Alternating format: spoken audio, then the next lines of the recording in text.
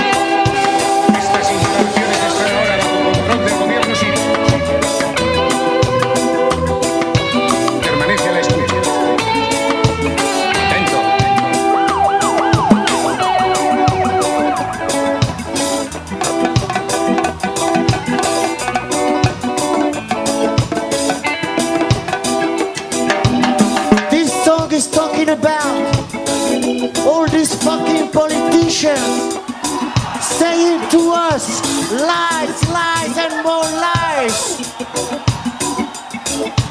They try to explain us that we need to fight violence with violence. They try to fight terrorism with more terrorism. They want to fight terrorism with Guantanamos. The only way to fight violence is with schools, education, food, understanding. Say no to any kind of religious terrorism. Say no to the White House terrorism.